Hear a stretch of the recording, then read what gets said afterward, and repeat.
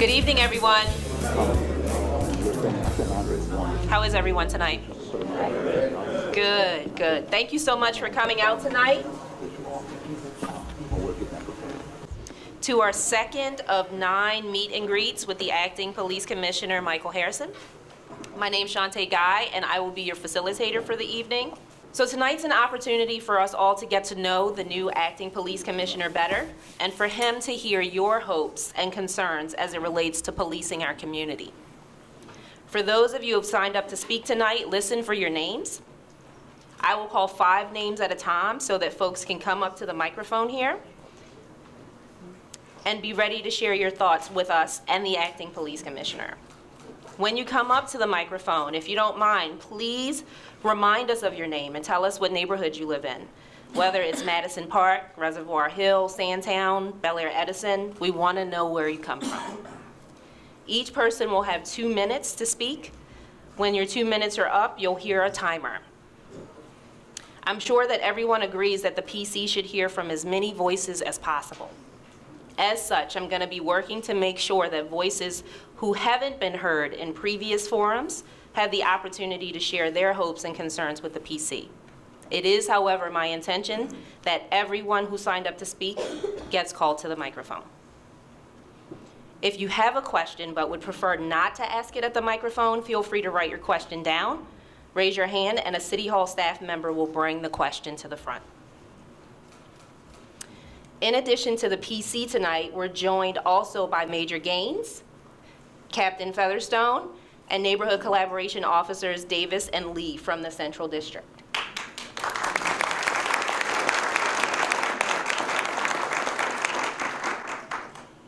I'd like to acknowledge City Council President Jack Young. Is he still in the back with us? Oh, Public Safety Committee Chair, Councilman Brandon Scott.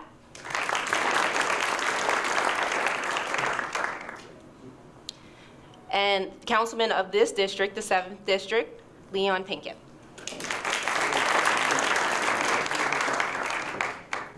So before we get started, we're going to turn it over to Mayor Catherine Pugh for a few words.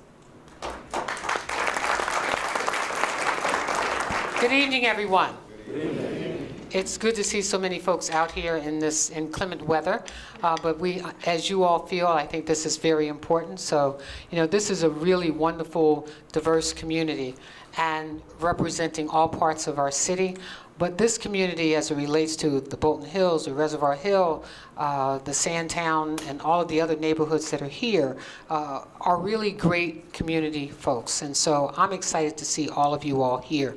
And again, you know, we believe that we've made a great choice in our police commissioner who's joining us from New Orleans. I told him I know he's a little shocked by the weather, uh, but uh, I think they are welcoming them themselves to Baltimore. And as he said in one of our press events, he said, you know, he sees this as an opportunity not a challenge. And so, uh, police commissioner, again, thank you for accepting this opportunity to be a part of our community and more importantly, to engage with folks who really want to engage with the police department. And I also want to thank those who have participated in our consent decree, our oversight committee, our mediations. You know, we've done uh, over close to what 40 or 50 walks in neighborhoods and communities. We've done listening tours. We've knocked on doors. We've heard from folks, and many of you have joined us on our Violence Reduction Initiative walk. I want to also acknowledge members of our Violence Reduction Initiative team for being here this evening. Thank you all as well. And uh, please, open yourselves up, share your concerns, because that's why he's here this evening. Thank you.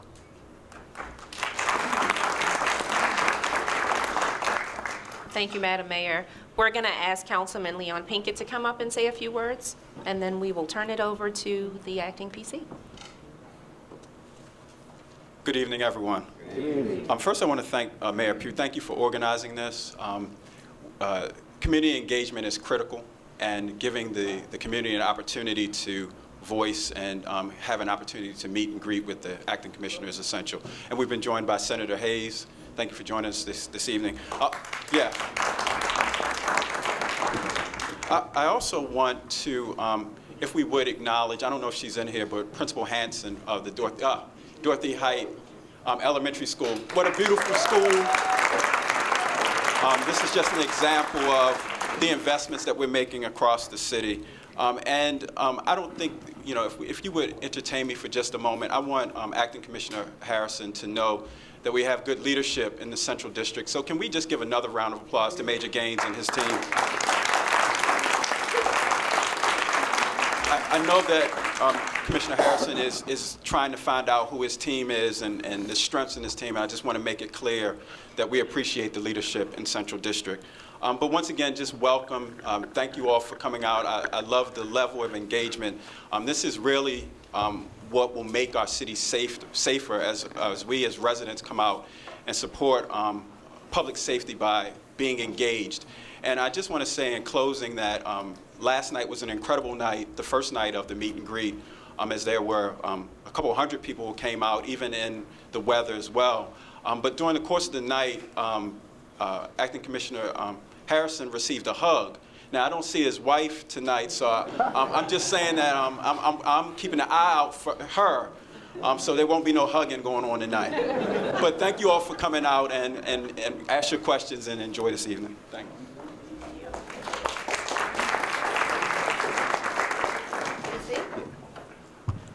I'll turn it over to the PC now. Thank you. Uh, first of all, thank you all for being here. This is, this is so important, and I feel really blessed, honored, humbled, and, and privileged to be standing before you. Thank you, Madam Mayor, for this, for this wonderful opportunity to lead at, at such a high level in the city of Baltimore. To my uh, council president, Senator, thank you so much. Our other council members, thank you all for your support, being out the second night in a row. Thank you to the team that put this together and organized this. Thank you so much to our commander and assistant commander and our community officers. Thank you all. We actually met earlier today to kind of share a little bit. Went and chatted with a few officers at a shift change at roll call today just to kind of introduce myself, say hello to our team, to let them know that I fully support them uh, and will be advocating for them. But I'm also advocating for you too, the citizens and residents of Baltimore.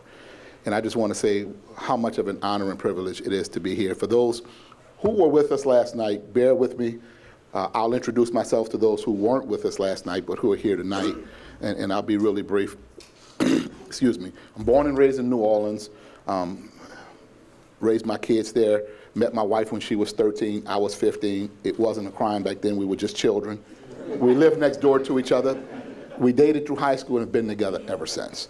Uh, 27 years married, two kids. My son's 25, my daughter's 21, kind of grown on their own. So it made it really easy um, to assess where my life was and what would be the next chapter in my life. Um, and this is such a wonderful opportunity, as the mayor said, I've said over and over again. 28 years, 27 and a half years with the New Orleans Police Department, joined at the age of 22, worked in a number of tough assignments in the toughest parts of the city that I asked for because I felt that would groom and cultivate me and develop me um, because I've always been a high charger and overachiever and just trying to to be that all that I can be. Not necessarily that I was going to take that slogan from the Army, but just just to be the most that I could be. Raised by a single mother. My parents were divorced. My father passed away when I was 16, so I really was helping my mother raise my sister, my younger sister, and that was kind of the role I had after high school. Joined the Louisiana Air National Guard right before joining the police department. So I served eight years in Louisiana Air National Guard. But I joined the police department in 91, took those assignments. After about five years, found my way to um, the major case narcotics section. Keep in mind, this was the 90s now, in the height of the, the drug and crack epidemic and what we remember about those days. Um, did a lot of undercover work that, that helped me to find my way to work um, a year at the Drug Enforcement Administration, working cases with them, and then working with the FBI Drug Task Force. All that work led to me helping to take down a number of corrupt police officers. One of my best pieces of work was working undercover as a corrupt police officer to find the other corrupt police officers in our department, and this was at, as a young police officer. So even then, I had no issues with figuring out who the bad cops were and helping remove them from our department. Um, and that got the attention of the chief who promoted me. And after a short while, put me in internal affairs and asked me to take that skill set to continue that work, which I did for the next nine and a half years, working in administrative and criminal and specialized investigations within our internal affairs unit. So strong discipline is at my heart, is at my core, what discipline is. and what integrity is and what morals are and how to incorporate that into our profession. What's ethical policing like? That's at my core. Later got promoted to com- uh, assistant commander at a police district, later to commander where I was in charge of the biggest police district, the most populated district, the heaviest crime and most challenged district. Was there for three years, had crime reduction all of those years. Uh, and then the mayor at that time, Mayor Mitch Landrieu, appointed me, by the way, over all of the assistant chiefs from the commander position to be the chief of the police department because my work apparently caught his attention and the citizens who lived in that district.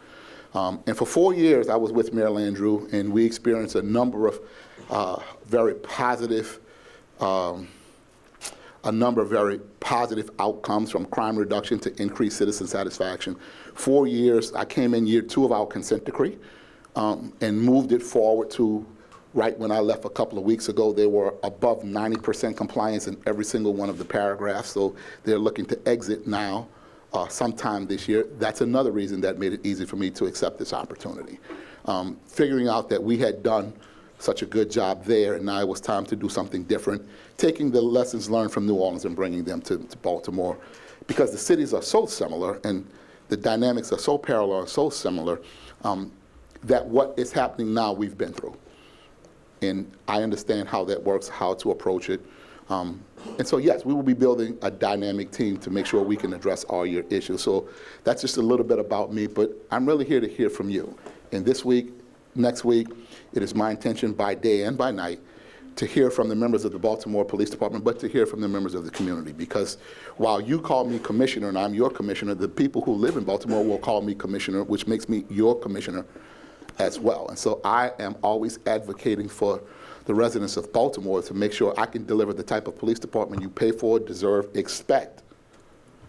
And I can deliver the type of police department that you need your leader to be, the kind of leader you need me to be, and deliver the kind of police department that you can be proud of when you put that uniform on and go in public and say, I'm a member of the Baltimore Police Department. And so it is my goal to deliver all of that, but I can only do that by hearing what's important to you hearing what's important to our officers, and then taking that information, building a dynamic team, create a plan of action to take us to where we want to be. And so now it's time for us to hear from you. And so we're going to be taking notes, and I hope to have all of your names, addresses, the names of your neighborhoods, so that we can communicate back to you uh, and show you that what's important to you is also important to me. And if that's okay, we'll call our first person.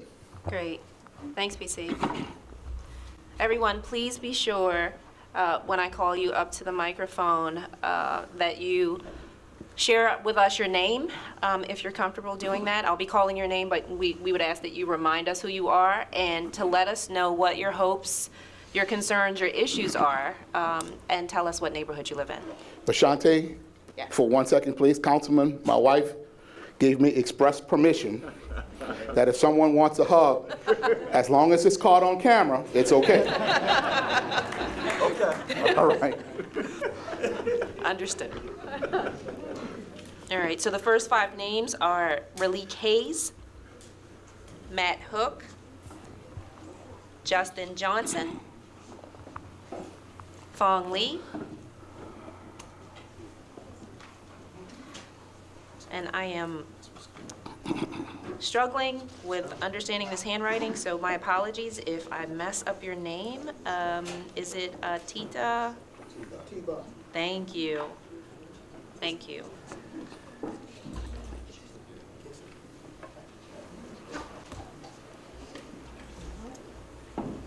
Mr. Hayes, when you're ready.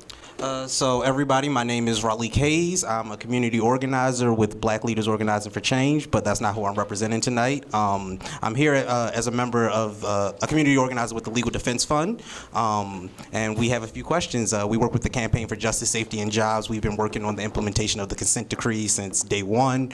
Um, and our first question is, and this leads back to what you were saying just recently about uh, discipline and integrity. Um, tomorrow, Officer Gondo, I think, is sentenced in federal court for the gun trace task force. So what are you, what are your plans to ensure that corruption like that doesn't happen again in the department? Or continue, just to be clear. First of all, good, good question. Just to check in for one second, because folks are allocated two minutes, would you mind listing all of your questions that you have for the? that was it. it? That was Great, it. thank you. it, it's, it's going to be very important for us, and we will do this. It's about building measurements and systems of accountability. Those systems of accountability that, number one, lets us know who did what when, who knew about it what when, what did they do when they knew about it, and then what are we going to do to those who knew about it and didn't do anything. Does that make sense? Makes sense. That's, that's what's at the core of my heart, and it is as easy for me to implement as it was for me to tell you. Okay. And we are going to make sure that, first of all, we create systems of accountability that teach officers how to not make those mistakes, and officers can step in and correct their colleagues. There's a program we created in New Orleans called EPIC. It's called Ethical Policing is Courageous. It's a peer intervention system by officers for officers that teaches officers how to step in and intervene on behalf of their colleagues when they see behaviors escalating. Just like we're taught to deal with citizens when we see their behavior escalating and then we respond accordingly. We're teaching ourselves, we taught them how to do that with their colleagues. So rather than having to have all the discipline on the back end, we're teaching officers, which we will teach in Baltimore, how to have officers save each other's careers by not allowing their colleagues to make those bad mistakes, thus hopefully reducing those levels of, of bad acts that cause what you just talked about, an officer getting in trouble, throwing his career away and, and going to prison. So that's one system of accountability that we, we will bring to New Orleans that's already been introduced to the Baltimore Police Department, and it's, it's almost in its third or fourth year in New Orleans that's been proven effective. So you can look forward to something like that. But strong discipline will be a part of the Baltimore Police Department, and it is imperative that we change the culture to, so that we know things are, when, when it's brought to our attention that bad acts are happening, that people are responding appropriately and taking the appropriate action, so we can create the culture that there are consequences for those actions to try to deter people from doing that. And it, it will take time, but it's our goal to change the culture so people don't make the decisions to make those bad acts. Okay. Thank Great you. question.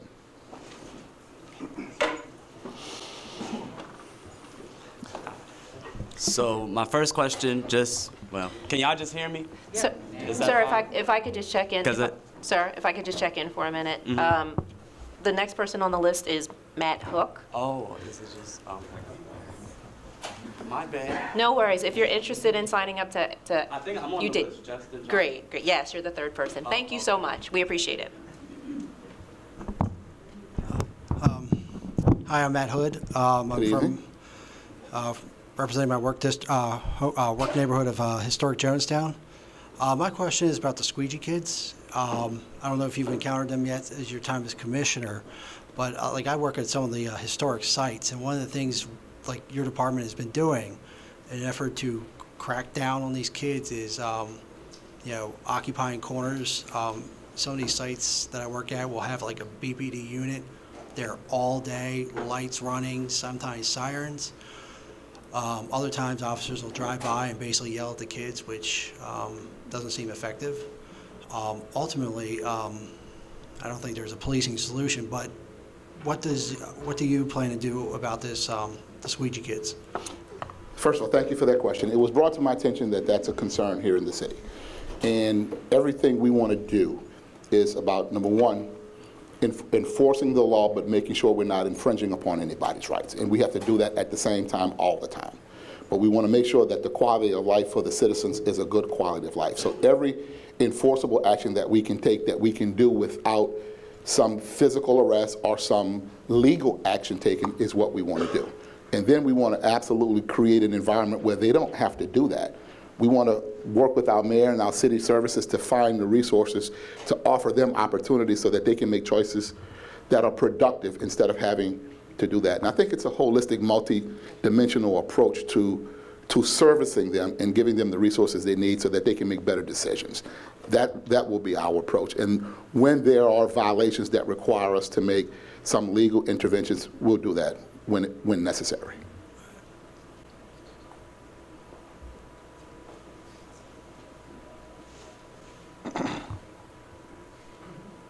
Sir, your Okay, comment? Just making sure about my question. Um, so, uh, my name's Justin. Can everybody hear? Yes. Uh, my name's Justin. Uh, I'm a student from University of Maryland, Baltimore County, and I also do community organizing in Baltimore City with a group called Black Leaders Organizing for Change. Uh, just like a four question, have you read uh, or, you know, do you understand the consent decree? Like, are you familiar with it? I have read the consent decree. Mm-hmm. It's 510 paragraphs. Mm-hmm. And so I have read it. Uh, It's very similar to the New Orleans consent decree. I understand it in the sense that I understood the New Orleans consent decree and worked four and a half years as a chief and a year mm-hmm. before the chief having to implement that. So, but it is imperative that my team and I go through the Baltimore mm. consent decree because it is, there are some differences and there are mm. some nuances that are different. And so with that, what would you consider in the consent decree to be like your priority? Well, all of it is my priority because it is about constitutional policing and it is about mm-hmm. creating a culture in the department. And while there are 510 paragraphs, I would say some citizens would say all 510 are the highest priority. It is about changing a culture in an agency that makes the agency deliver police services that are both constitutional, fair, equitable, and just. And that the citizens not only do the citizens perceive that, but the officers see themselves that way. When, when we are at a point when we see that they're fair, equitable, just, um, and the officers see that, and then your perceptions of us change, our perceptions of ourselves change, then we will say the consent decree has, has run its course and was effective. And so one Mr. last Jones, question. is it, this your last question? Th- this Great, last thank one. you. And so specifically about, uh, oh, thank you. So specifically about the civilian uh, oversight program and like review. Um, the current CRB only has the power to make recommendations. So like, what is your opinion on like that aspect of the, you know, consent decree? So we welcome civilian oversight. I have no objection to civilian oversight. And when it comes to disciplinary actions taken, I am the, the CEO of the organization and will make the final decision on, on discipline. But I welcome recommendations because they help shape my opinion. But there is a disciplinary matrix that is created uh, that is bound by laws, that is bound by policy. And certainly we want to make sure that we are not violating laws or violating policy, but the discipline ma- matrix is strong, but fair and just. And so that there's citizen satisfaction and justice is actually served, and we accomplish what we intend to accomplish. Thank you. Thank you.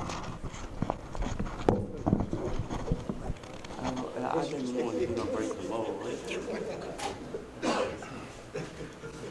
Hi, uh, my name is Fong Lee. I'm, I live in Remington. I'm the president of the Greater Remington Improvement Association. Uh, first off, welcome to Thank you. Baltimore. Uh, I've asked all my friends in New Orleans, you know, like, is this guy the real deal? And they- say yes. Surprisingly, they're like, yeah, he's the real deal. I'm very uh, hopeful. I, I'm very, very hopeful. Um, my question is this.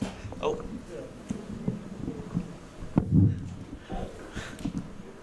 Okay. So, uh, my, my question is this. Um, right now, uh, Johns Hopkins has proposed uh, legislation proposing a, a private police force, um, primarily within their Clery boundaries, some of which are in Remington.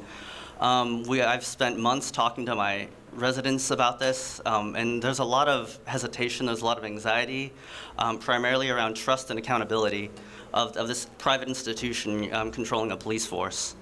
Um, part of, as I understand that legislation, is that uh, the BPD would help create a memorandum of understanding.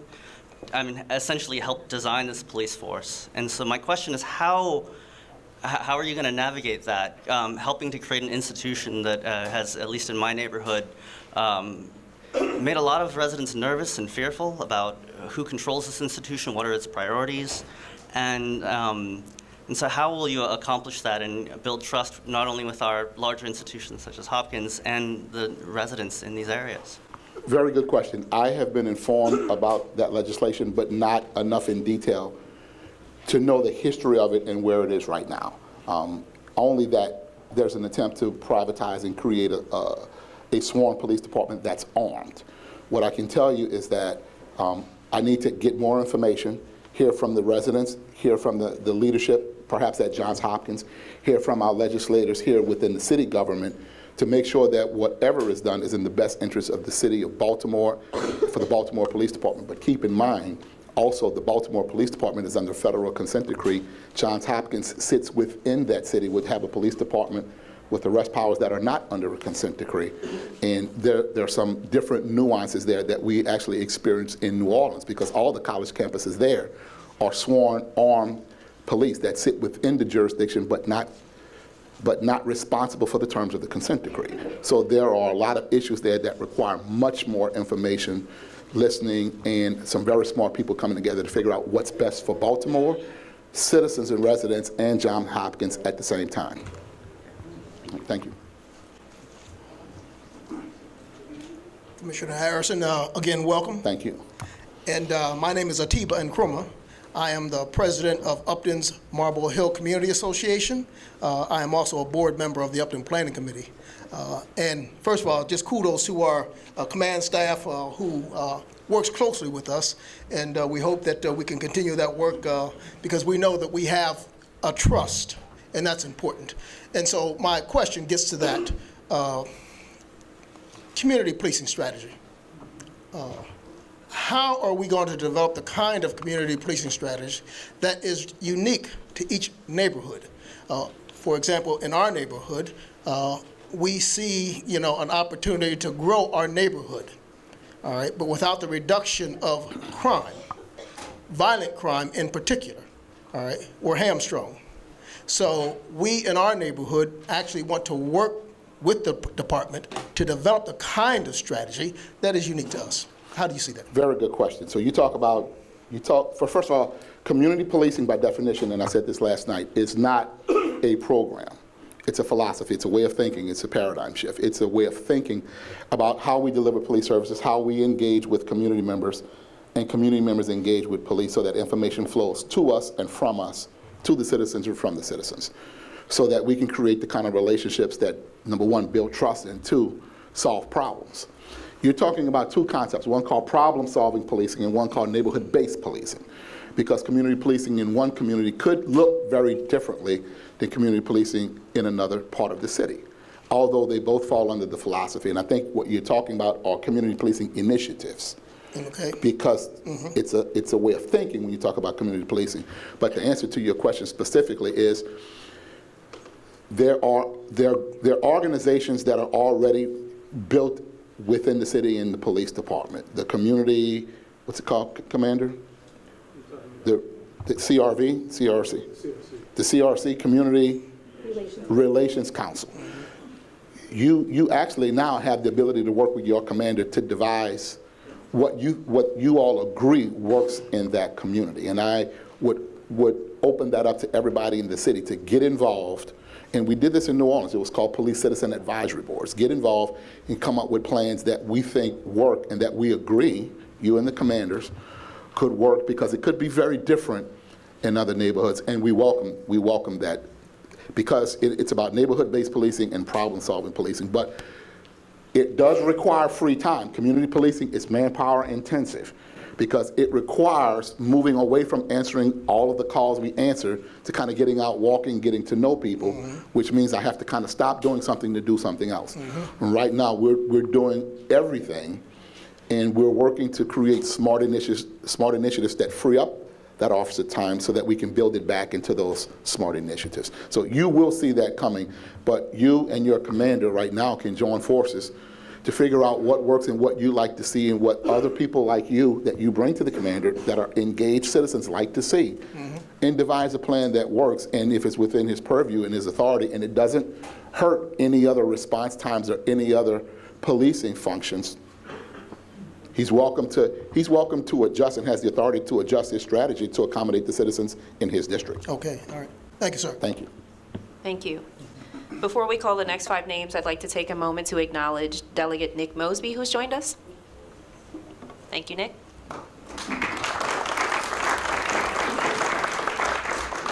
The next five names are Andre Robinson, Brown on Maiden, Karen Morrell, Tracy Parker,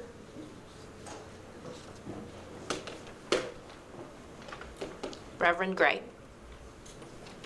Can I, uh, can I yield to the gentle lady from, uh, to go before me? No, no.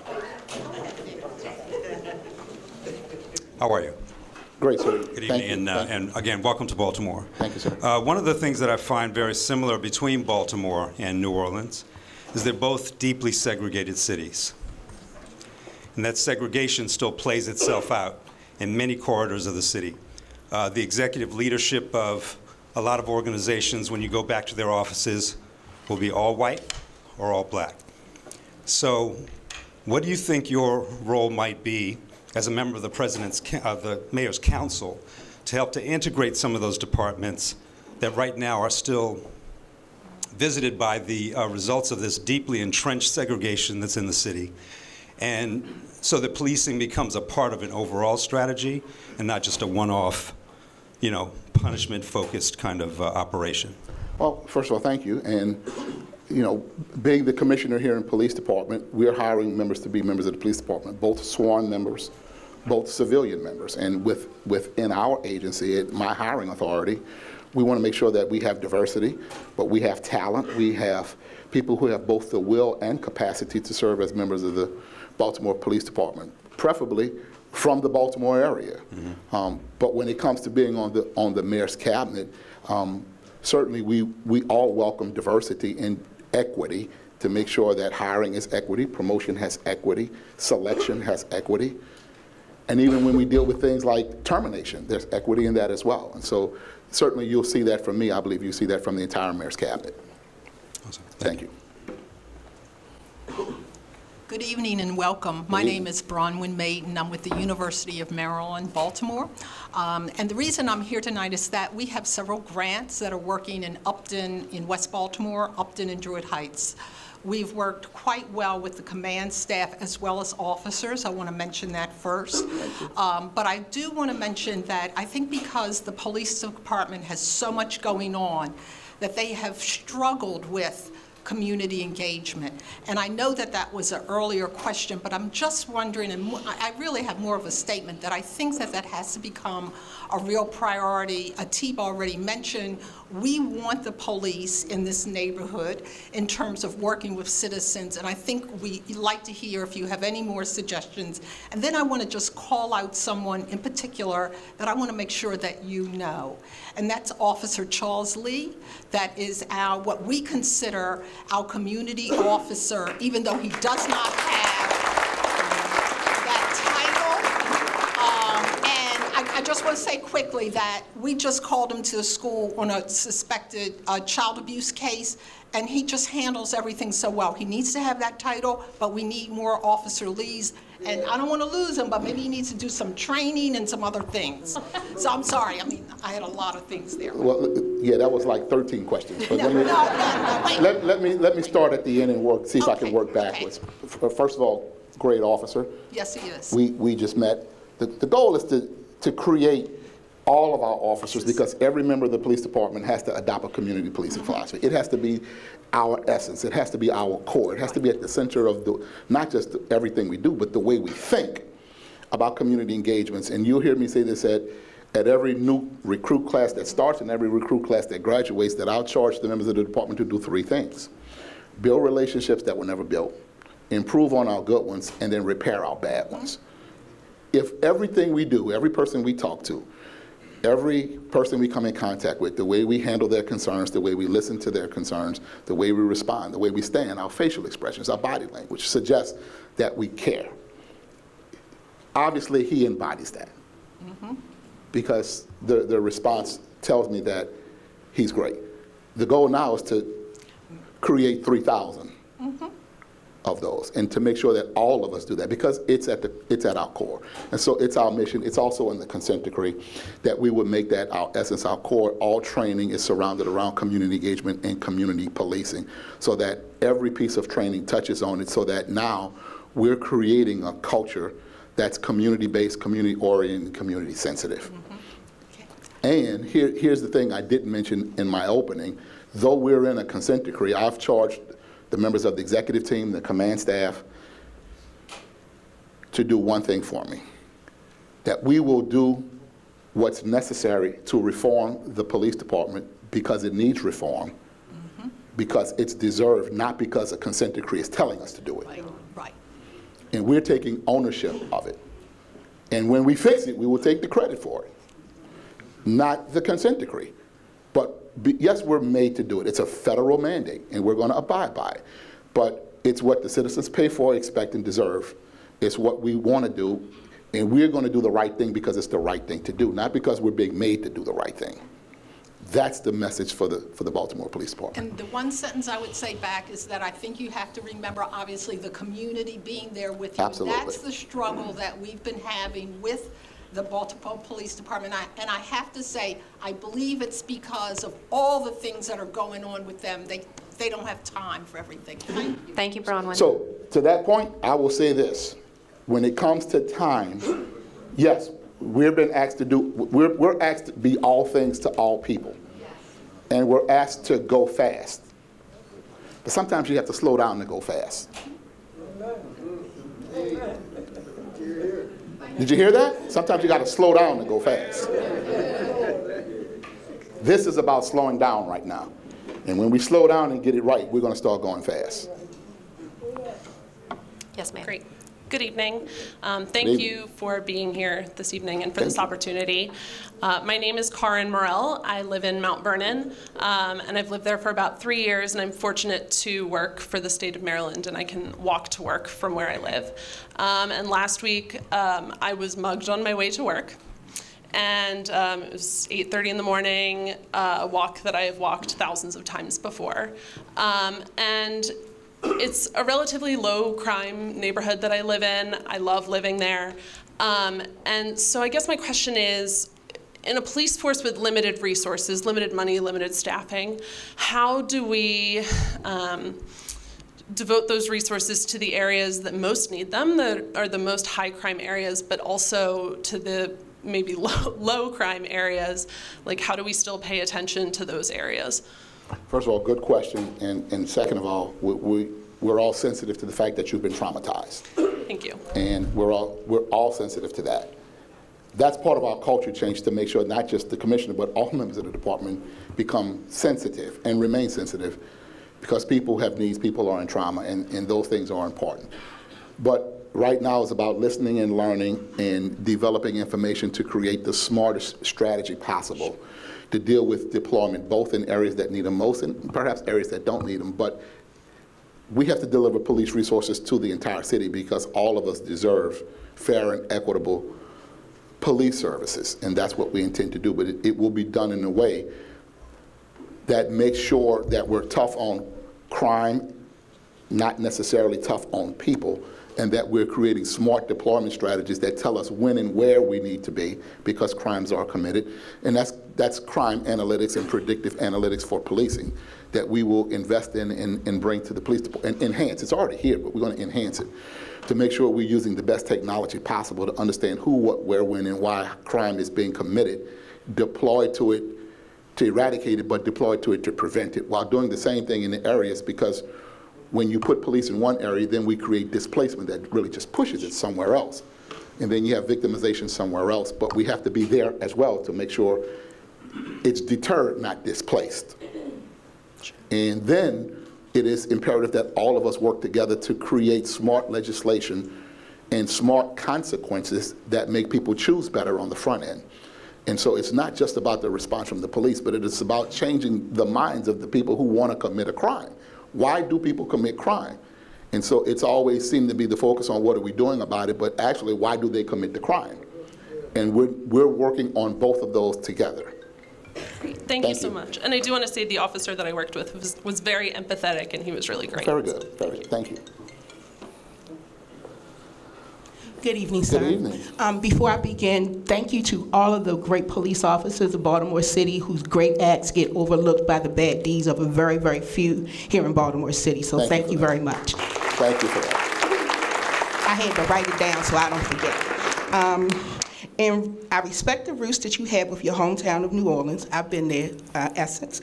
Um, however, the relationships that you have established there don't exist for you right here, right now. What is your plan to deal with a city that has lost trust in its ability to secure its own neighborhoods as well its ability to trust its elected and selected officials? Well, that, that plan, you, you're a part of that plan. Yeah, you can clap for that. The plan is to be here tonight to talk to you. Oh, I'm coming back. I'm from Zone 15. Everybody here knows Park That- Heights. That's the first, to know that's the Park first, Heights. that's the first part of the plan. Okay. For us to get to know and for me to get to know not only the people of Baltimore, but the nuances of the communities. So I can get a, a, a understanding of the history the, the nuances that are different from community to community, the things that trouble you and your community, but trouble those over here in their community. And so I can get an understanding for myself rather than getting just briefings from the members of the police department and our electors about what is happening, which I'm getting that, but I wanted to hear from you.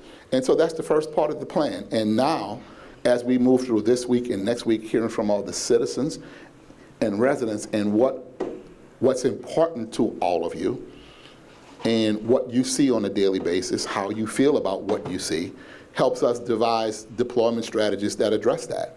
And so that's what that's what this is all about. And then, of course, again, it's about the crime fight, it's about your quality of life, but it's also about police reform, which is in, in culture change, which is all done at the same time. Is Reverend Gray in the room?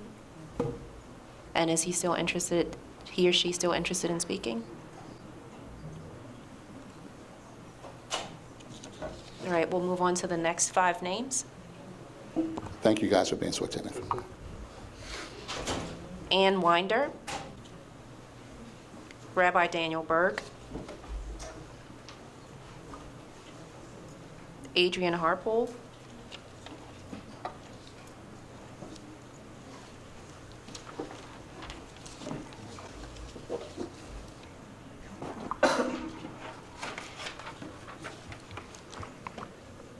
Ms. Winder, we'll start with you. Sure. Good evening, Good welcome to. Baltimore. Thank you so much. Um, I am a lifelong resident. I am a taxpayer. Up a little closer. Oh, I am a property owner, a business owner, and I am part of the board, I'm a board member of Markets and Emergence Association, which has uh, Lexington Market as its stakeholder.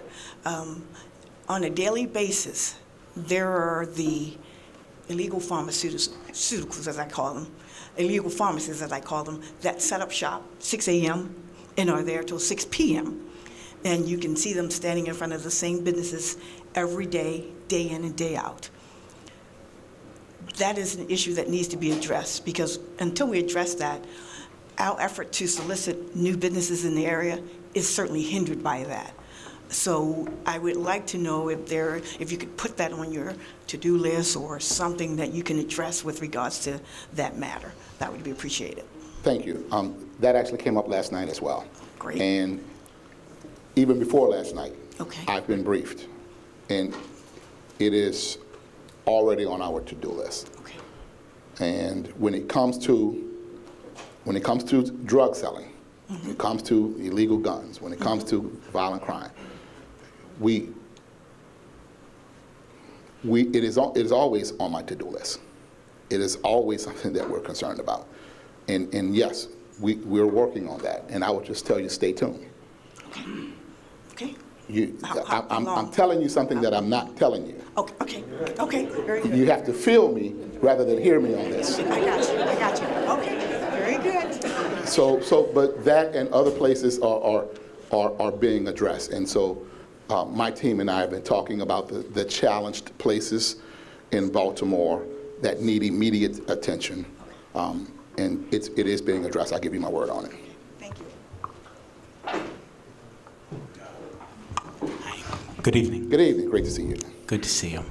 Uh, so I've been trying to collect some questions from congregants and those I uh, run with in different circles, and uh, so some of the things that I were on my mind have been addressed already. So I'm going to ask this uh, question that comes from a congregant uh, on the Rabbi Beth Am Synagogue uh, here in Reservoir Hill on, on Eutaw Place that we're currently worshiping at Mount Lebanon Baptist Church um, until we come back from our renovations. Uh, so this is from a congregant who has spent uh, significant time in both Baltimore and New Orleans, um, and so I'll just I'll just uh, read the question. Um, uh, how and to what extent they were able to restore the retroactive investigative function in the New Orleans Police Department in the aftermath of Katrina flooding, when violent crime was overwhelming in the city. There was a point at which 140 murders or so had only been met with a handful of arrests and no successful prosecutions. Those kids charged with murders called it doing your 60 because after 60 days, a Hicks type rule arrangement would uh, inevitably lead to the state dropping the charges and release. It was that bad. Given that Baltimore's clearance rate and conviction rate for violent crime has now collapsed, is there a remedy that NOPD brass employed to restore retroactive investigative deterrent to repeat violent offenders? Good question. Very long, good question. Um, during, I, I wasn't the chief during Katrina. Right. Yeah, I'm aware of that. I, I was I was at the rank of a sergeant, and it, it was horrible. I mean, horrible. And there were, you know, there were a number of challenges, all types of leadership challenges. I can say that it took years to restore the NOPD. Um, but it was all of that that led us to a consent decree. And the consent decree with the reform mandate to fix all of the issues that led to the collapse of a number of things, leadership and performance and all and accountability, all of those, the collapse of all of that led to a consent decree. The consent decree was about 100% makeover of the police department. And so that came in 2011 and then, you know, 2012. And then so in 2014, I become the chief in the second year. And then it became doing assessments of our performance capacity and ability, individual leadership and performance assessments of the individuals in the department to figure out who were the best people to be in position, for example, to be homicide detectives, to be sex crimes investigators, or robbery or shooting detectives. And so, but all of, all of that came out of a federal mandate to reform with oversight, with, with really bright people helping us to identify our strengths and weaknesses and to figure out a pathway to reform the police department. And I think that's what we have here. And so it is not about me just fixing it all. There's actually a blueprint on how to reform the, the, the police department, and we're following that blueprint. But now I'm in the process of assessing the department's capacity and individual units' capacity, for example, like the homicide unit, like the SWAT unit, like the narcotics and sex crimes investigation, to make sure we have the capacity to fairly and justly and competently conduct those investigations and that the people there have the will and capacity to be there to conduct those investigations. And then the oversight that we have is holding not just the department accountable, but me accountable to that.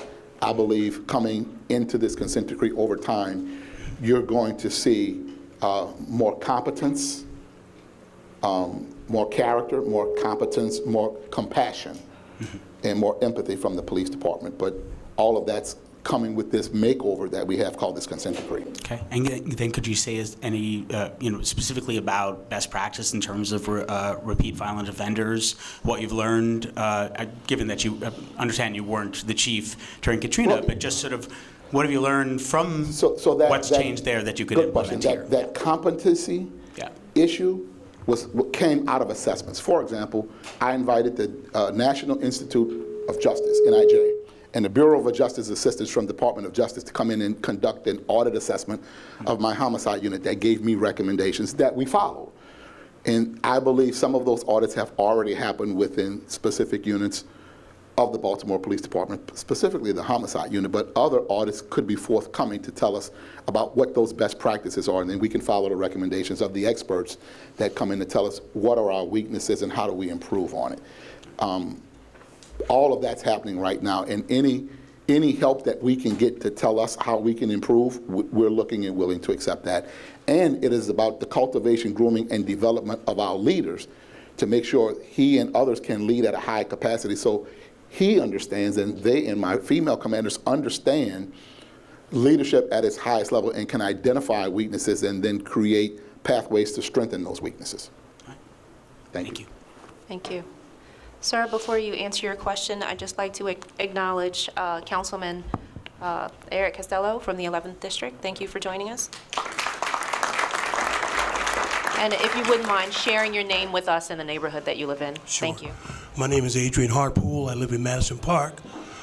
I serve as the president of the Madison Park Improvement Association. Yes, sir. Good to see you. And I'm currently serving as chair of the Midtown Benefits District. Yes, sir. Which is Madison Park, Bolton Hill, Charles North, and Mount Vernon. We are one of the most diverse, both economically, um, educationally, ethnically diverse neighborhoods in the city. We're in the heart of the city, and it's hard to get from one side of the city or the other without going through Midtown. Like some of the others who uh, talked before me, there are some definite nuances, and I'm glad that you mentioned nuance because you can't do this with a broad brush. We welcome you to come into our community and has work with the officers that we've worked with to understand the particular challenges that we have. Uh, one size doesn't fit all. We have a lot of different issues. There's a, there's a commercial district, there are a lot of residential districts, we have churches, we have major thoroughfares like North Avenue and other places, Mount Vernon and other places where you know, there are currently some other challenges that, that with traffic and the like. So we're here, we want to see you succeed, and Thank we're you. opening the door, opening our, our hands and our, our arms uh, to work with you. We have a uh, benefits district that has a special assessment, so our taxpayers pay an additional fee to augment the city services, both for cleaning, greening, and also with police. So we have a private, uh, we have not a private firm, but we have a, our own unit in which we employ off-duty police officers to patrol some parts of our neighborhood, and they work, they work again in concert with those on-duty police. So it's an interesting community. Uh, It's one that can be a model for the rest of the city, but we really encourage what you're doing. I'm I'm really pleased at what I've heard, but obviously the proof is in the pudding, so we're going to let you get to work, and we'll see. As you say, uh, stay tuned, right? Yes, sir. All right, but thank you and welcome. Thank you so much. Hello, how you doing, sir? Great. How are you, sir? Good- Uh, Good to see you. This is the community that I come from, the Reservoir Hill community. I've been in this community for 60 years. And um, I just wanted to know, is there any type of program or project that you have coming up for the, for the, the squeegee guys and the homeless guys is making it like, like really harassing for the motorists that has to stop down here at 83 and on Franklin and all, you know, just coming up and all. I mean, me and my partner Stokey, we, we do a lot for this city, man. I mean, we love our city. This is where we come from. Yeah. And we just hate to see it get tore apart like it is, like it's being done. Thank you for, for your concern. There, there's a holistic approach to both. What I've been briefed on is the squeegee kids issue, and certainly the homeless issue in, in the city. And so the mayor's office has an entire team working on a whole approach to providing resources to make sure that those young people have opportunities so that they can choose better, and that we can approach them in a in a way that's not an enforcement way. And when we need to approach them in an enforcement way, we're certainly going to do that. When they commit violations, we're certainly going to do that. When it comes to the homeless population, there's an entire team within city government working to eradicate homelessness. Yes, sir. So that we don't criminalize it, but we treat it for what it is, as people who are in need of help and who are, who are between blessings and who need our help. Yes, And not to be prosecuted because they're not breaking the law. Yes. They just need a place, and they need some help. So yes, there are plans. It's not a plan exclusively in the police department, but the police department is part of the holistic mayor's plan to address the homeless issue and the squeegee kids issue. Well, I'd just like to say that I trust and believe in you. Thank you. Thank you, sir. Thank Sir, you. would you mind sharing your name with us, please? My name is Felman Miller. Thank you. Thank you so much.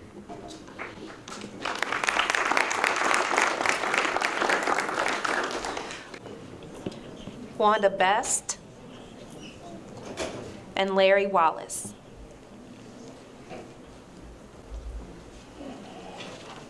Ma'am, what's your name?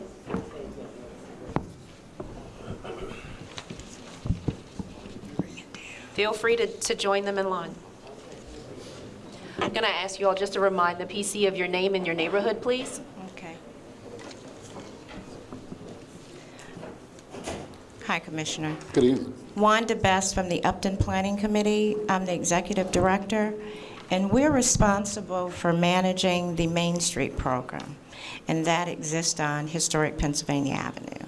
We go from Fulton to Martin Luther King. Um, Our challenge on Pennsylvania Avenue is illegal activity around businesses, loitering around the methadone clinic, and corner stores not being able to control their fronts. How do you plan to address these challenges? Thank you. That was brought to our attention last night as well. So hearing all of these concerns, we're working with our team to make sure that we can that we can find ways to deal with both violations that are happening on public property and on private property. And that we're working with the stores, the owners, the land owners, the store owners, to make sure that, number one, they're doing what they can do to give information to us and that we can receive the accurate information so we can respond accordingly. And that the officers are equipped and trained to know what to do and how to handle those incidents on both public and private property. And then how to best proceed to enforce that in a, whether it's local ordinances or whether it's violations of state law. And so right now, I'm doing assessments within the police department to figure out what we have and what we know and what our officers know and what they think they can and can't do. Um, and so right now, it's about me learning about all that so I can devise a plan to go and address issues like that. I don't really know right now what the officers know they can do or can't do. Okay. And so, but that's a good question that, that you have to bring to my attention. Okay. Uh, because that's not anything different than we experienced in New Orleans. And what we found was that the officers just did not know how to do things and enforce laws that had violations on private property Okay. versus in a public right-of-way or public spaces. And what kind of timeline are you looking at? Well, we, we are looking at every part of the department right now. With over 2,500 officers, we're trying to figure out leadership capacity at every level, supervisory capacity, who needs to be where, what the skill sets are, what are our weaknesses and gaps, how do we strengthen those weaknesses and fill those gaps. So I really can't give you a timeline, but every day, every part of the city and every problem is being addressed every day, all the time at the same time. Okay. Thank you, Ms. Best. One, one more question. Does Pennsylvania Avenue come to the top of the list as far as priority? Every street that, every street that has a crime being committed on it is at the top of the list. Thank you. Good evening. Good evening, sir. How you doing? Um, my name is Larry Wallace, and I Good evening, am under the leadership of, of Dr. Andre Humphrey for the Trauma Response Team, and I'm also under the leadership of uh, Christine Flowers, the director of the homeless trauma. I wear many hats. I'm the spokesperson for all the cab drivers in the state of Maryland. I Also talk on the radio. I've been driving around Baltimore City. What what were you going to do with the the motorcycle, the bikers? Because uh, if they, I, I didn't seen them hit people.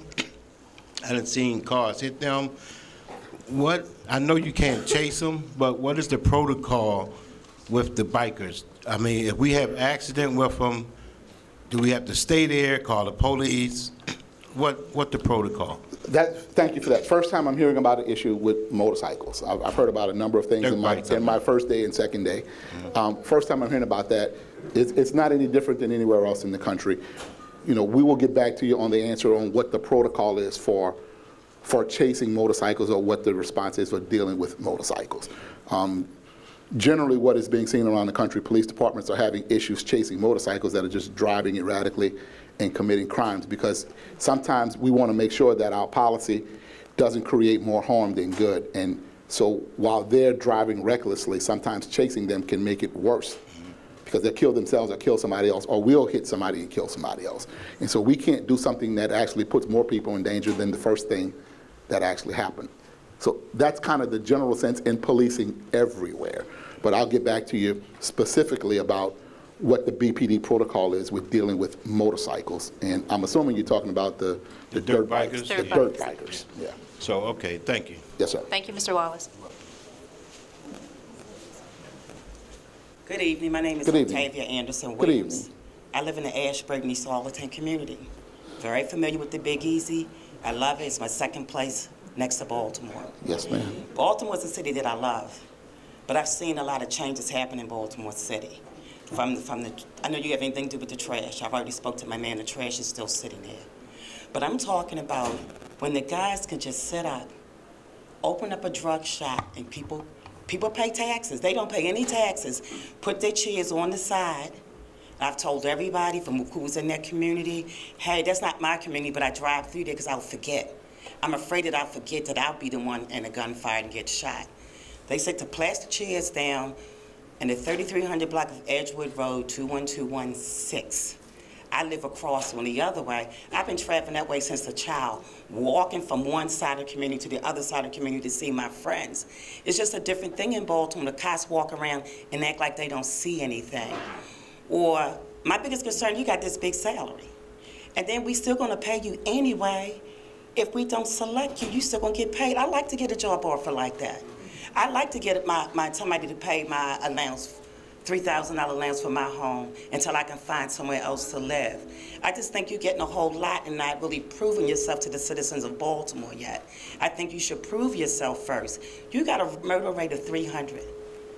I sat in my house while my friend was being murdered in a car, and he was a CPA. It wasn't like he was selling drugs, he was killed. That crime was never solved. Put it in a back burner, and what they say is that the community don't help them. But what, what is the process of solving the crime? Are you gonna go back and say, we need to get these cold cases and find out who killed who? So do you have a process for that? We have a process to fix it all, and the answer is Now, you said you got a process to fix it all, but how are you gonna fix it? Because every, we've had a lot of police commissioners, and I don't think we have one that lasts a year yet in Baltimore City. Not one year, because you come from New Orleans, and I've been there, it's not like the crime in, in Baltimore, where out, I can't say every police, because my, some of my family members are police officers, mm-hmm. that we allow this crime to happen. We let them set up shop with cheers. And I got a picture of my phone, took a picture of my, I said, I can't believe this. They're sitting down, so how can that business that's in that area mm-hmm. be not a part of what's the problem is in the community? Because I wouldn't go there to buy anything if all the drug dealers are sitting there. The church left. They not praying out of there, but the church left. So, so what is, so what should we look for you to expect from you? Because you only got to get 300 murders. That's to me, once you get 300, we're going to give you 3%. To me, that just doesn't make any sense. When there's so many murders, I don't even watch the news anymore for murders. I don't even know how many Baltimore City have now because my friend one year was number one in Baltimore City. Mm. So how many murders do we have here now? There are 30. How many? It was- Yesterday, I think there were 30. 30. But how many did we solve last year? I'm, this is my second day. It's your second day? This is my second day. That should have been the first my thing you should have asked for because you, your, your goal is 300, only 300. I- And I think it should, I think it should be lower than that. My, my goal is to not have any. So if I could, One, one murder is too many. I think one is too many, but I think your goal for 300 is too, is too short. Or we have a process that you're gonna break it down, mm-hmm. the next year you'll say you get 200. The next year you get 100. Because I don't expect you to come here and just clear the murder rate out and just one year and be wiped out. But do we say, is it 300 you get, 200, 100? Because I seen the change in Baltimore City, that people don't pay no taxes, got more rights than me, to sit in the corner and sell drugs all day long. And they're in mm-hmm. neighborhoods that are senior citizens that are 80, 90 years old, and that, and that neighborhood just be a great neighborhood. Yep. So what, what do we do for that? Or, or, so you think it's fair that we go for 300 for you, 200 for you? Could I check in here for a second? I just want to make sure that we captured everything. I'm taking notes over here to make sure the PC can address your, your question directly. So it sounds like um, feeling proud of the time that you lived in Baltimore and been here for a really long time, seeing things change um, as you've lived in the community, um, concerns about illegal activity and safety associated with not only your commute, but also people that live in the neighborhood that you're driving through, wanting to understand the, the PC's perspective on that. Um, also, um, concerns about um, wanting to see evidence and proof of the PC's worth around getting the job done and really wanting to hear what his plan of action is. Did I kind of sum that all up? You kind of summed it up. Great. But PC? All great points, and thank you for all of them. Thank you for all of them. And I, I appreciate your, your pride in the city you live in. Um, and I want to address all of it. And it, it may take a second, but I want to address all of it. I'm, I'm here to help change the culture of the Baltimore Police Department so this department can perform at a high level. So the officers, when you see them, are doing the things that you expect them to do, like taking the appropriate action when we see things that are wrong and people are committing crimes, which I think you addressed. And when they see that, we take the appropriate action and that we're not afraid of it, but we know how to do it, but we do it fairly and justly. And that we send a message to the criminals that we're not going to allow you to just set up shop, whether it's on private property or public property, in front of a store or anywhere else, that we're taking the appropriate action. And if we're doing what we can to eradicate that and cut that kind of stuff out because it's really tearing away at the fabric of our society and ruining your quality of life, making you not even like the neighborhood you grew up in and love so much. So changing that culture and making us perform at a high level is certainly one of the things. Having the department and creating the type of consequences for bad actors like drug dealers to make sure that when we do that, that there are consequences for them and they don't come back to do it all over again, and that everybody in the department is working on that. I want to make sure that you understand I'm not expecting to get anything from anybody. I left a career of 28 years and retired, packed up my home, kicked my kids out. my son got married last week. Congratulations. And, and I'm here, living in Baltimore now. Not yet received my last check, but haven't yet received my first check. But you know you're going to get a big one. But there's a process between the time I left a career and the time I'm actually, actually a member of the Baltimore, which is a level of uncertainty. And so I'm here 1,500 miles away from a job I left, a home I left, a family I left, familiarity that I left, and people that loved me to come to a level of uncertainty where I don't even know. And so I'm here now, not trying to convince you, but to at least show that I'm concerned enough to hear from you. And so I'm not asking for anything, but I'm, I'm looking out for my wife who came with me, who gave up her career to join me. And we're serious here about being part of this Baltimore family and residents. And whatever you're experiencing, I'm going to experience too because I'm living here now. Depends where you live. No, but I'm, but I'm in Baltimore. And, you know, we're, we're connected. We want to make sure that we build the kind of police department you pay for, you expect, and you deserve. And we want to give that to you. And that's going to take time. When it comes to the homicide rate and shooting rate, we want to make sure that we can address all of that. When I say all of that, because the, the, the, the culture of why people commit crimes and pull the trigger to shoot other people is what we have to change. And so I need help from everybody to change the reason why people pull the trigger, because the decision to pull the trigger is not made when you pull the trigger. The decision to pull the trigger is made when you stick the gun in your pocket and walk out of the door at home. That's conflict resolution skills, that's parenting skills, that's consequences on the back end that are not there. And we're dealing with all of that. And so we want to develop a department that's accountable to its leadership, but accountable to the citizens so that you can have pride in the department. And at least you know that when you call us, we come, and what's expected of us, we'll do. That's what I'm here to try to help change and develop and give to the citizens. Thank you so much for your question, ma'am. Thank you. Thank you, thank you so much.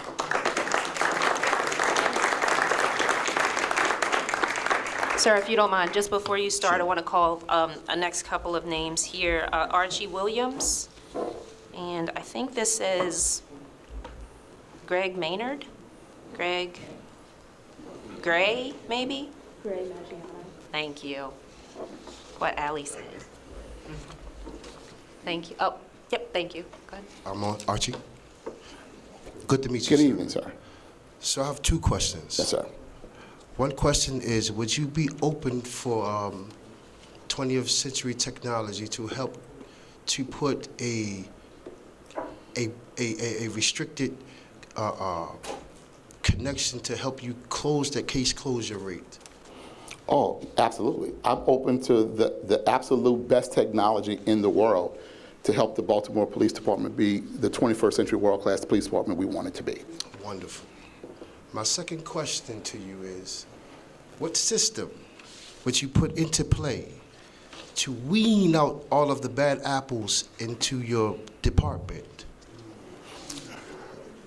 That's a great question. And like, and like I told you earlier, that if you were here earlier, that's at the, that's. I'm so sorry I'm late. that, that's at my, that's at the core of my fiber and my being. I would love to hear it. And it's about building systems of accountability and a disciplinary system and a performance metric system that makes people perform at a high level, but tells us when people don't so that we know it. Technology is probably something we need to help us know what we don't know and to teach us what we don't know so that we can take the appropriate action when it's brought to our attention, but we can learn about it when it's not brought to our attention. And then take the corrective action against people who knew about it but didn't do anything about it. And then sometimes, and here's what had to happen to me in New Orleans, I had people who did something and people who knew about it.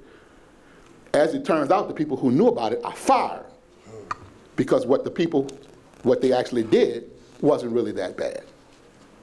And sometimes, sometimes we have to send a strong message. I'm not saying what I'm gonna do or when I'm gonna do it. What I'm saying is we're gonna build the best, robust, most robust systems of accountability to address and change the culture of a department um, so that it has strong discipline, it has flexible but strong policies, and we have systems that teach us what we don't know, and we have leaders that hold themselves accountable, that we can hold accountable, and that you can hold accountable. Wonderful, good answer. Thank you. Thank you, sir. I think the next person is Gray, and then we'll take these two gentlemen. Yep. Gray's asking you guys to set- step up to the mic. Thank you. All right. Uh, my name is Derek Jones. I'm a resident of Reservoir Good evening. Hill. And uh, first of all, I read a little bit about you. I like your attitude. Um, we all know a bad attitude is like a flat tire. You ain't going nowhere till you change it. Yes. So, yes. So with that said, uh, I'm very receptive to you and looking forward to uh, talking to you on more occasions ju- Absolutely. than just this. One question or either one suggestion I have is I want everyone to just think about when you're driving here in the city and you pull up alongside of someone with limo tinted windows. It's not transparent. You feel a little intimidated and you're wondering, is this a jack or what?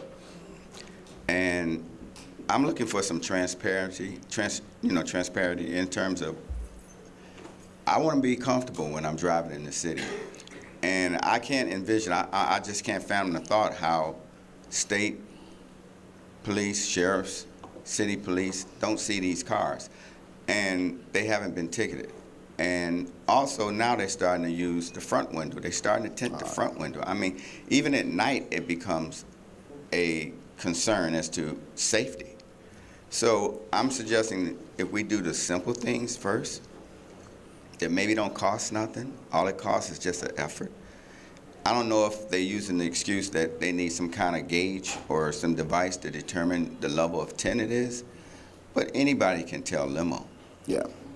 And these cars should be ticketed even as they're parked.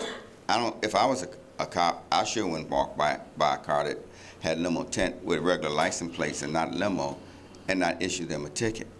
So if we focus on the simple things, I think we can find our, find other crimes being suppressed or either not even considered because they are too obvious to us now.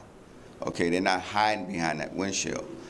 Uh, number two is I understand that there's a recruitment deficiency, and thinking of what you've just mentioned this evening about the uh, cooperation as far as responsibility, accountability, integrity, what are you doing in terms of uh, implementing a recruitment process that would bring these type of individuals that have these type of morals and characteristics, even though you emphasize it and train them in it, that really understand what you're looking to train them in and, uh, and receptive of it so that we have a good police force. Yeah, thank you. All great points. The, the, the limousine tint is, is an issue in this city. It's an issue in every city.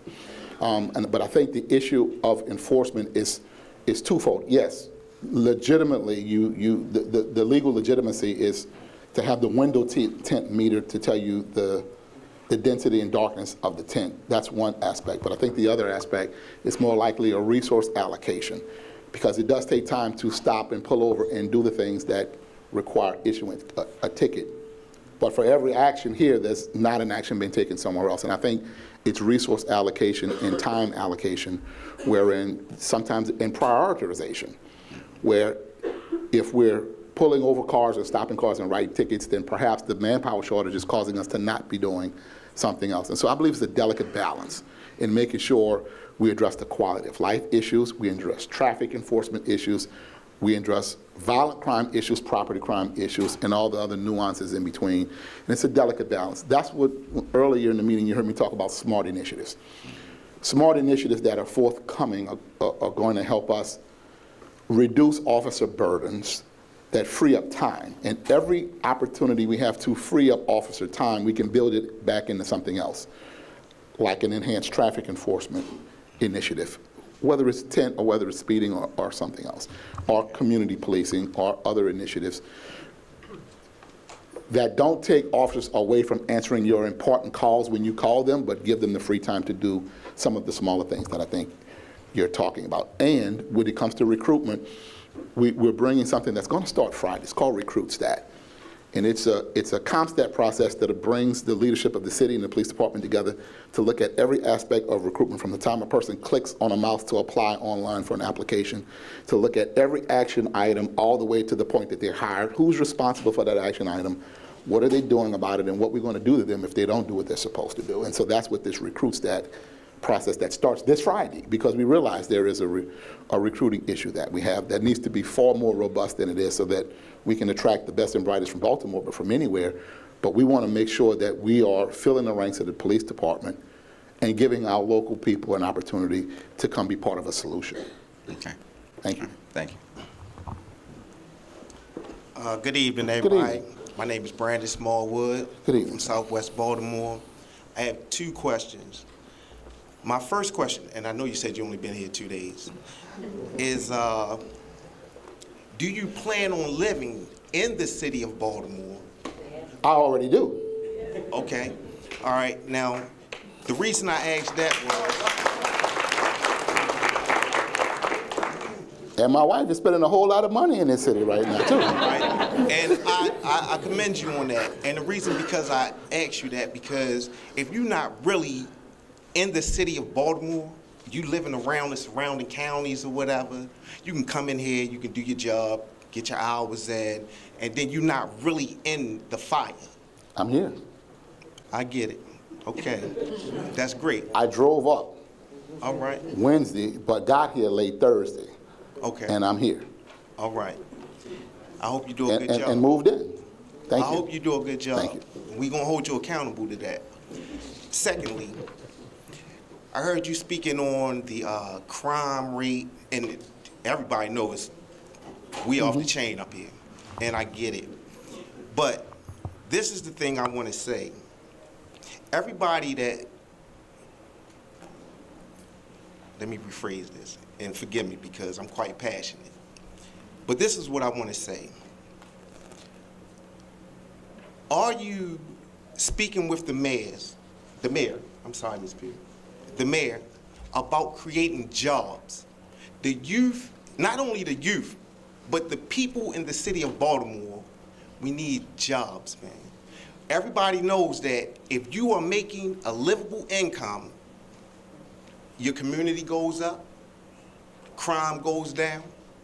We ain't worried about nobody running around the corner trying to bust your head open because you got a couple dollars in your pocket.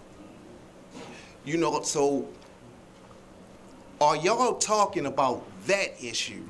Because I believe, and it's proven, if the economy is booming wherever you live, crime is down. If it's not, crime is up. So how are you going to speak with your superiors and get information and bring about a resolution for people to get these jobs in here, man? Because everybody don't want to be running around with guns. Everybody don't want to be selling no drugs. You know, people got families. People risking their lives, knowing any day they can come outside, a pack on them or whatever. Man, I ain't got to worry about the police. I got to worry about the crooked police. I got to worry about these stick-up boys coming behind me. I got to worry about this, that, and the third. Everybody just not running out here mad like everybody think or want to portray that they are. Mm-hmm. People are doing this because it's desperate times. And in desperate times, it's desperate measures. And everybody knows that self-preservation is the first preservation. So, how can you speak to your superiors and y'all get some things going on where we can help out these people? I mean, not these people, because I'm people, I mean everybody, where we can get this thing on the ball and cut this crime down. Everybody talking about crime, this crime that, oh, they just running out here doing this, that, and the third. No, everybody know it ain't that cut and dry. Thank you, Mr. Smallwood. PC? Very good question. The answer to it is yes. Yes, we are talking about jobs. As a matter of fact, I did my homework, and it's called the multidisciplinary approach. This whole violence reduction initiative is all about all the resources given and put on the front end that address all the issues, homelessness, jobs, poverty, education, conflict resolution, skills, the skills to get jobs, living wages, mental health, drug abuse, all of those issues are being addressed. Had they not been something that was being addressed, I would not have accepted this position because all of the all of it would have just been on the police. But because I was impressed with the fact that there is a multidisciplinary approach to dealing with the social, the social ills of society that cause people to make bad decisions to commit crime. And that's what you're talking about. You're talking about one of the issues, which is jobs, but there are many issues, but specifically jobs. Yes, we are talking about that, and that's part of the reason that helped me make this decision to transfer out of New Orleans to Baltimore so that I knew that there was a support system and that there was a structure and that there were smart people putting their minds together to figure out how to stop people from making those bad decisions and giving people the jobs and the skills necessary to get those jobs and moving the barriers out of, way, out of the way that help them get the jobs that otherwise they'd be disqualified for. Because all of that is in place, and I believe will be more robust over time, it, helped, it was easier for me to make that decision. And so the answer to your question is yes. Okay. Thank you, sir. Thank you.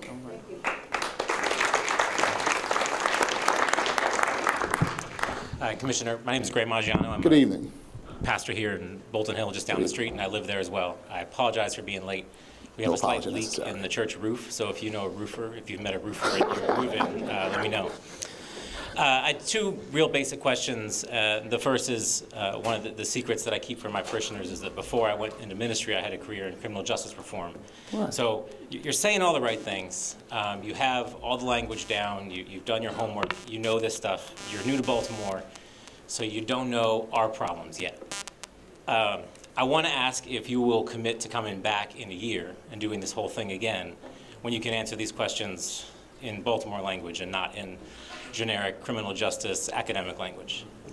I'm, I'm happy to come back in a year, but I'm happy to have, have you meet with me as often as, as we can physically do it. What's, I mean, But, but it's- the it's answer, the answer is yes. all the- You have all those people who are coming all across the city who, who Mhm. care about this city. Uh, They're invested, they want the city to be better, and they feel a real disconnect between themselves and the department. And I think you have the ability to make that connection again and build that trust Mm-hmm. again. But it's not going to happen with just the generic buzzword language. And it's no offense to you, it's, you- this is your second day, so you're not expected to have all the answers for us today.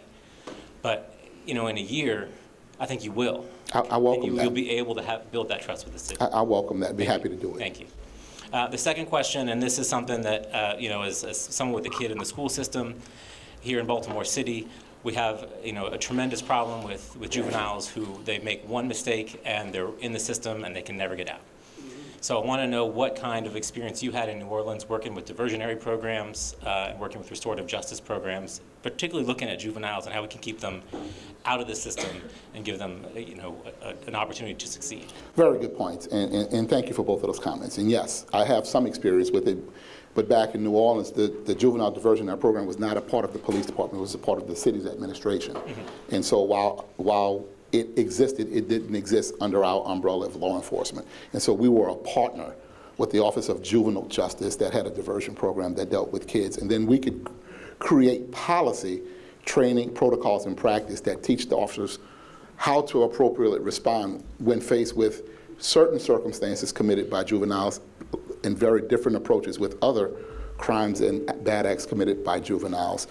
But, but yes, there is some, some practice we had with that, but it did not, it was not housed within the police department. And certainly we were always working with the mayor's team in the entire city for juvenile justice to make sure, especially with this consent decree, that we have youth programs built in the police department and that we have youth advisory councils that I talked about last night that if not already created, will be created and that we're working with juvenile justice to make sure we have an appropriate response to juveniles who are committing both minor and major offenses, and those responses are appropriate, and not holding them so accountable that it ruins them for life, but actually gives them a chance to self-correct. Thank you. Thank you. So before we close out for tonight, the PC is going to recap what uh, he heard from you all this evening, and then he'll punt it back over to me just for some closeout comments. So thank you tonight. Thank you so much. This is so important. Okay? I'm, I'm sorry, ma'am? I was late today, but I apologize. I said I got a quick question before we close out. Is that okay? So, so, would would you like a quick question. Would you mind coming down to the microphone so that the camera can hear you, please?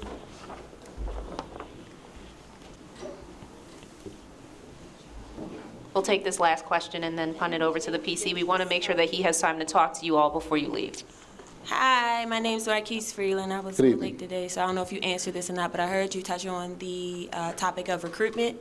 And one of the biggest issues I know within the communities, the police that have that are responsible for basically surveying the community, the people that live there aren't comfortable, or the I guess there's a lot of discrimination and so forth, or maybe the police officers themselves are scared. I don't know if you have white cop that doesn't know how to deal with, you know, uh, melanated people or Hispanic people or so forth. But on that has been a big issue here, and I was just thinking like, if you if you are going to do this whole thing of recruitment, kind of focus on putting people in certain communities that are more familiar and that take the time to ca- kind of have a rapport with the people that live there because those issues happen a lot. I've seen it a lot over the years Mhm. from living here. I'm sorry, I'm from Madison Park, by the way.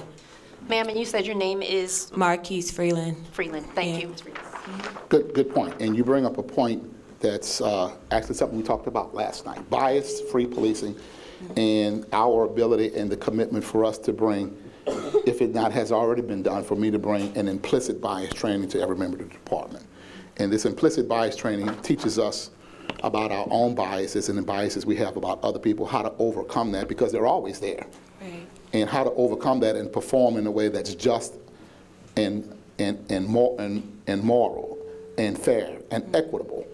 Um, and when it comes to staffing and resource allocation, about staffing police officers where we think they're best served, that is a great concept. And most police chief, we, we try to do that as much as we can, but what we don't want to do is cripple our police officers where they're not able to perform in an area because we've only limited them to performing in areas that they're comfortable with. Right. I want to make sure that we have officers that are trained to perform everywhere. Right. And that can be sensitive and empathetic to your concern. Right. And when you call for the police, the question should not be where are you from? The question is, will you help me? Right.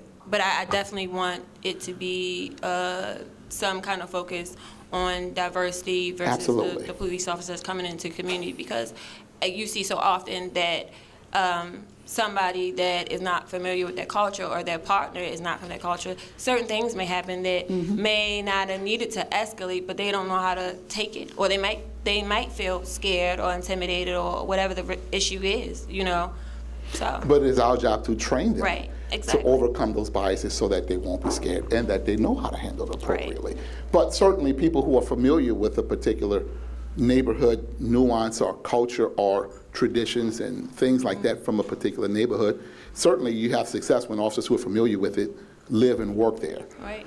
That, that happens. The reality in this world is that there's so few police officers mm-hmm. and such a high demand, mm-hmm. and we're asked to be all things to all people, and we're responding to, to just thousands upon thousands upon thousands of calls that it becomes difficult, and then to staff that like that. And then, yes, recruiting is a challenge, but we're working to make that more robust. But to the extent we can, officers that are better served in communities where we know uh, they're going to be extremely effective, that's, that's always the goal. Okay. Good question. Thank you. Thank you, Ms. Freeland. And so tonight, it's, it was very good, and thank you for that. She brought up an issue, biased free policing, implicit bias. Certainly something we want to deal with. We're committed to it. It's in our consent decree. It's forthcoming and part of our, our change. I heard quite a few talking about restoring public trust, accountability, um, consent decree compliance. A few of you asked me about how we're going to implement and, and sustain this consent decree compliance. Culture change. That's the, that's the biggest thing. All of it will come together when we change our culture and create the right culture that, number one, we can perform at a high level because we've cultivated, trained, coached, and mentored and developed the best police officers, supervisors, managers, and leaders in the department that, that, can, that they can possibly be. Then we change culture. We start delivering services that are fair, just, and equitable to you. And then your perception of the police department changed. That's all within culture change. It takes time, but that's underway. That's our commitment. Community engagement and community policing. So many of you talked about that. That is the core function of the police department. It is in our mission statement. It is about everything we do, and our training is centered around community policing. From the first day of the police academy to the last day, to the day you become a full sworn officer, everything we teach is surrounded around how to be a community policing police officer. Drug dealing and laundering, I heard quite a few talk about that. Pennsylvania Avenue, a couple of other streets, yes. Um, Lexington, Market. I got it, among other places. I heard a lot of you talking about that. I started as a drug officer chasing the drug dealers. I, I did that work. It's dangerous, but it's important. We're doing it. We will do it. It'll enhance. And, and we're going after them. And we're going to make sure that we can tell you about it. We'll come back and tell you what it is we did. And then we'll go out and do some more of it. And you tell us where it's happening. We go out and we can deal with it. But I'm working to change the culture to make sure our people understand how important this is and they go out and, and perform at a high level. And then I will be holding all of our people accountable for either doing it or for not doing it. And so that's our commitment. But thank you for bringing that to our attention. Best practices uh, regarding repeat violent offenders. I'll need all of your help with that because while we are working to change the culture of crime in the community and the reasons why people commit crime and all the things that cause people to drive toward crime or get pulled toward crime. We're working on that with the mayor's team with this multi uh, multicultural and multi-diverse, this diverse, multicultural, multi-dimensional, multi-discipline approach. It's late, forgive me. um, we're working on that. By the same time, we have to focus on the back end, the consequences for people who commit these bad acts and the causing them to be repeat, repeat offenders. And if there are no consequences, people are making a decision to commit crime because they can get away with it. We're working on that as well, but I will need your support both locally and at the state level to fix that and correct that. Problematic stores and establishments. We're working on that. That's a that's an issue for private business owners that are on private property. I'm eager and willing to work with any private business owner and any neighborhood association with our commanders leading that effort to make sure that we have open lines of communication, not only with you, but with those store owners so that we can get the right information and then create the most robust and strategic plan to go after those drug dealers and those lawyers and people that are causing problems.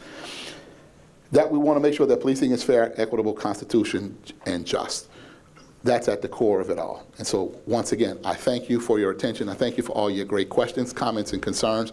God bless you, and I look forward to working with all of you.